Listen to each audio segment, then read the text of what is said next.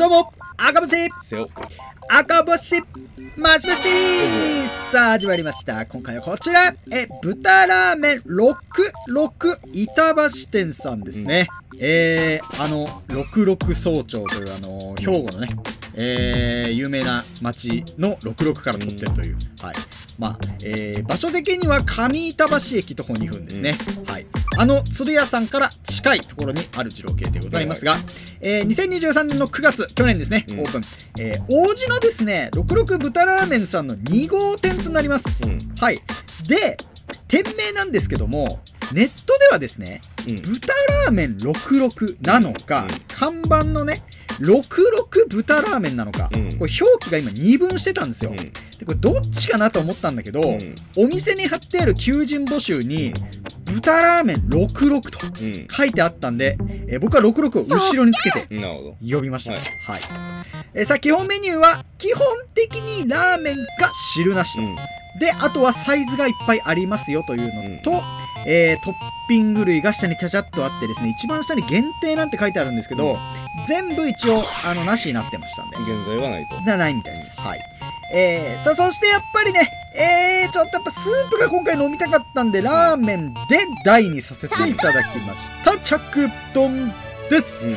えー、ラーメン台の全部マシマシ半熟卵をつけてチャーシューを1枚追加とさせていただきましたおいえー、ニンニクがね上に乗るタイプでございますね野菜と油の一番上に乗ってます、うんえーこれは王子店と変わらずで、えー結構最近では特徴的ですねこのニンニクが一番上に乗るというのああ、はね。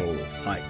えーそしてデフォルト、あ、違います。これね、全増し、全部増し増しがこうあるんですけども、辛めコールだけね、まあ一応ないよということで、はい。ございまして、えー、一応デフォルト豚が2枚と、うん。えー追加豚がこれ1枚100円なんですよ。ああ、安いですね。これはお得ですね。で、5枚まで増せるんで、うん5枚乗せると、まあ、つまり7枚になるということですね。一周おなりますね、うん。はい。ぜひ食べたい方はぜひということでその豚なんですけども、ああ形がまたいいですが。おスタンダードゆち豚うん。ですね。はい。えー一応まあこれバラ肉だと思いますけども、えー脂身のね部分にあのしつこさがないという、うん。うん。はい、赤身の肉肉しさが良い。うん。だギュッチが好きな方にとってはもう結構あの覚えておいてほしいうん。お店かなと思いますがこれはねスープがねこの肉のあの繊維の奥までうん。シュシュッと染み込んでいくわけですね、うん。ぜひスープと一緒に食べてほしい。えさあそしてニンニクですねもういっちゃいますが、えーちょっとこうマイルドニンニクなんですね、うん。なんでこう序盤からこう乗せてですねニンニク豚にして食べるのも美味しいですし、うん香りがねうんちょっと強いんですよこのニンニクさんは、はい、で辛さが控えめなので、えーこうなんでしょうね噛む時のつぶつぶ感やサクサク感がうん。面白いなっていううん。のが楽しめますねこのニンニク、えーさあそしてね 香りの強いニンニク足すうん。胡椒の、うん。えー香りが鼻からふわっと抜けるこの刺激大事に食べていきたいですねはい。パンチがいいですね、えー厚みも大きさもある納得豚でございました、さあそしてニンニクを1回ね避けます、はい後で味変しますということで。油野菜を食べていきますよ。濃いめの味付き油です、うん。そして野菜の食感はまああのー水分がよく含まれてるんですがどっちかっていうとシャキという感じですかね、はいえーまあ、かなりしっかりと味がついた味付き油っていうのはちょっと久々でございましたね、うん。えー、この野菜の組み合わせの味がさありありありがたさを感じました。ありがたい。ありがとうございます。ありがたい野菜。ありがとうございます、えー、スープがね、えー、まあ食べてますけどもこの野菜の温度とかも割と熱々だったんでね、えーやっぱハフハフしながら食べるのがいいですね、はい。さあどんどんいきますスープですけども。おっ!よっ!これですよ、うん。うん。はいこの光り具合の加減とかもありますけどもね。非乳化なんですね、まあ、驚きの透明度ということでね、えーやっていきますけども、まあ、この味がねウルトラライトなんですね。ほはい。すっげえすっきりしてます、うん。はい、もう何度も何度もレンゲにねこうスープ進んで飲んじゃうよというやみつきになる美味しさがありました。おで普通二郎系っつったらやっぱ味が濃いじゃないですか、これの逆をいくってことは、うん。むしろ尖ってるスープなんですよね、まあ確かにね。ええ。なのですがそれが女性ファンをかなりここに呼び寄せていると、はい、この日もねあの23人続いて入ってらっしゃるしかも単独で。まあお子様とかもありましたもんね。その通りなんですよ、家族でも嬉しいといううお店にはなってますね、はいさあそのお子様ラーメうん。ンありますが、お子様とミニのグラム数同じです、はい。で小200で波が300ということですね、大は400ですが。えー弾力のある厚めの平打ち麺ですね、あのスープウルトラライトな場合ですとねやっぱねあの麺がねあの小麦風味をより感じることができるわけですよ、でライトだからこそ味わえる麺の美味しさっていうのはねうん。あの覚えておいてほしいですね、はいはいであのお子様ラーメンのうん。詳しくいくんですけども、うん。豚1枚。あとコールできないんですよお子様ラーメン、うん。でまあ増したりができないんですがそれでも OK ならうん。大人も頼めるということでへなんとワンコインで頼むことできますんで初めての方、えー、それから自信ない方は全然お子様行っちゃってもいいと思いますよ、はい。さあ、えー、私味玉系頼むのはレアですけども半熟卵を頼んでみました。よいしょ。これねあのー基本的な半熟よりもって感じしませんか、ちょっと固めですね。そうなんですよ、まあ、そんなにとろとろじゃない。うん。どっちかっていうと固めの味玉なんじゃないかなぐらいの半熟ですね、えーで味濃いですね。これね これスープよりうん。ちょっと濃いんじゃないかっていうギュッと。してます。はい。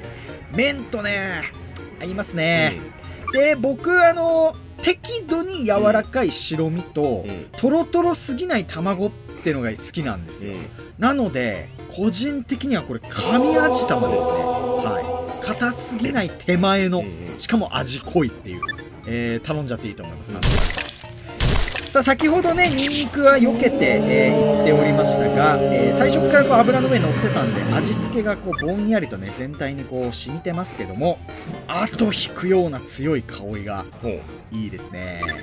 であのニンニクの辛さっていうのはね味が抑えめなんですね、うん。なのでこのウルトラライト非乳化を壊さずにですね、うまく味変ができてるんじゃないかなっていうのがありますね。まあ香りの方がそう香りの風味付けという意味でねこのニンニクは活躍しております、さあ返しですね。まあグビッといってますけども。おおお4.6です。はい。こんな顔するんならね飲まなきゃいいね。いやでもかけすぎちゃう人もいるんでね。やっぱり私がまずはしんがりとなってですね、えー飲んでいきます。しんがりは最後っすよね。いやこれはもうだから他の人は飲まなくていいってことですよ、はい、えー、コールの中にね辛めないんでね。このしょっぱさはありがたびっくりということでございますけども、まあ、せっかくなんでねうん。ウルトラライトをちゃんと試してから、えー、返しもニンニクも使っていきたいなっていう感じですね、はい。これあのどういうことかっていうとですね、お寿司。これあのまあ握りで言ったらね、うん。卵や白身からいくのがいいよみたいなことですよね、うん。味が後の方で濃い。マグロとか、えーまあ、マヨネーズ使った寿司とかを食べてった方がいい順番みたいなのあるみたいなんですけども。あんまその寿司食べる順番でマヨネーズ出てこないですけあそうそうっすよね、はい。握りでね、どはい。はい。怒られちゃいますね。あの握りでこうマヨ怒られはしない系ですけど。おくすって言われちゃうかもしれないですけど。まあ白身からいくようなもんだということで。あこれビネガーチャンス。うん。言ってますけども。ね。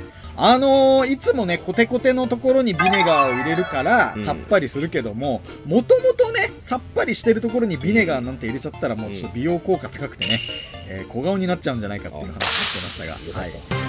よかったですね。女性が多いんでねちょっと、うん。あのそういった効果もあるなんてことを信じるか信じないかは、あなた次第ということでね。マシマシレベルは90.58うんまあうん。辛め度87にしましたけど。も、はい。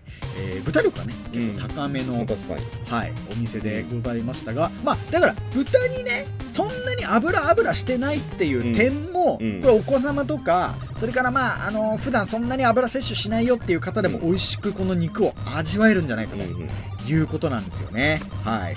まあまあ近くの鶴屋さんの肉、うーあの角煮系でちょっととろっとしたタイプなんで、うんこう今日はとろっと、今日はギュチッとでこううんうん使い分けもできちゃうよみたいな、えー、66さんでございますね。はい。66さんっていうとちょっと66豚豚ラーメン663ですね。はい。板橋店ということで、あね、お膝に、うん。えー乗っておりますけども、いやーでもね、うん。上板橋っていうのはね、はい。あの、イトーヨーカドーがまあ、有名なんですよ。うん。デカめのイトーヨーカドーがあるんですけど、残念ながらね、閉店しちゃうんですああねね。残念なことに。はい。なので、うん。この有名なイトーヨーカドーを行く、まあ、ついでにね、うんイトーヨーカドーをついでに、うんこれ663もちょっとチェックしていただけたらなというのを最後に言っておきましょうか。そそれだけです。はい。えー、ということで、上板橋からの、えー663でございました。ごちそうさま。「